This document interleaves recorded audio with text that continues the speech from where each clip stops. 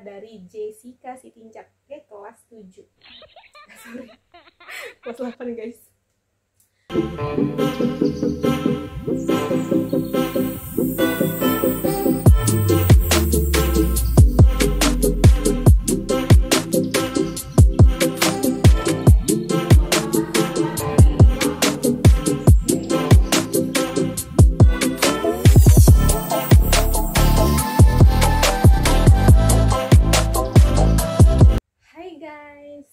lagi bersama Miss Milen.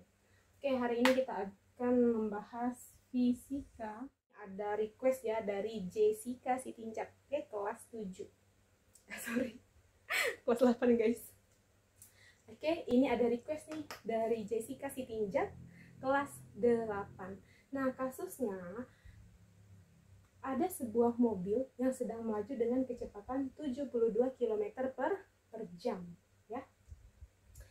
Kemudian dia melaju dalam waktu 30 se sekon. Pertanyaannya adalah berapa percepatan yang terjadi pada mo mobil.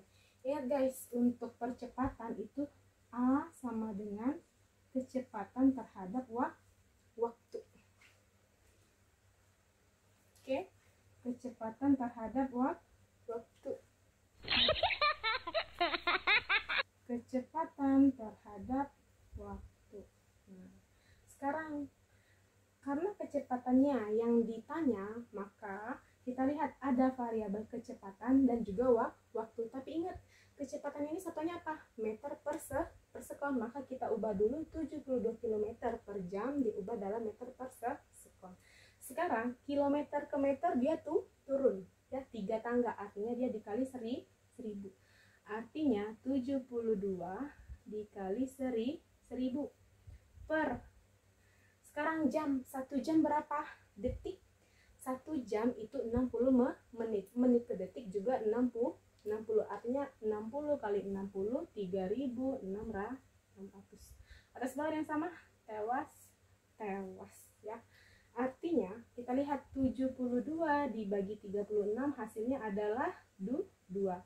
Nah, karena 20 sudah tewas, kita coret, maka sisanya adalah 10. 10. Maka 2 kali 10 sama dengan 20 meter per sekon. Sehingga kita masukin kecepatannya yang kita pakai adalah 20 meter per sekon. Dalam waktu berapa detik?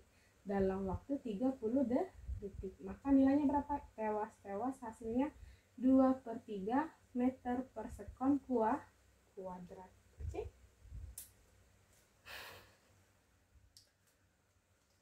oke mari kita lanjut soal nomor 2 oke pertanyaannya adalah sebuah pohon kelapa memiliki beberapa bu buah di mana salah satu buah kelapanya jatuh Nah, kenapa dia terjatuh? Karena dia tertarik oleh yang namanya gravitasi bu bumi.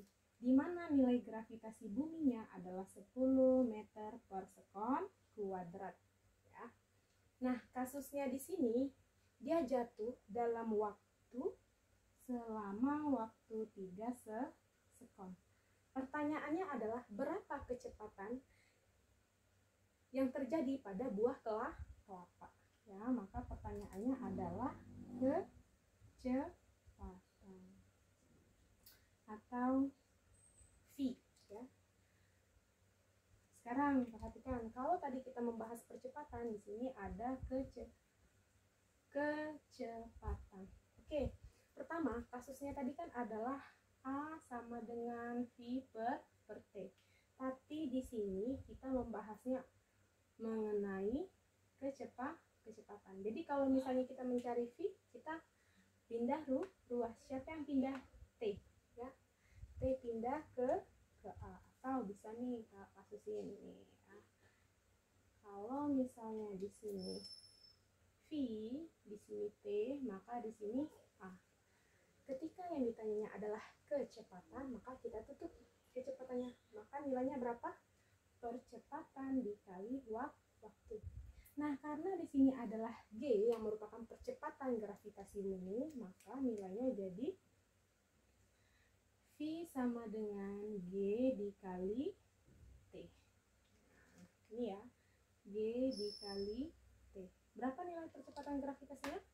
Sebesar 10 meter per sekon. Maka 10 dikali dalam waktu berapa detik? 3 detik.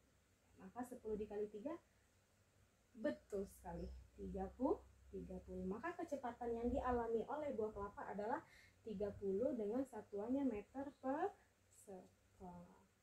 Oke, semangat Jess belajarnya.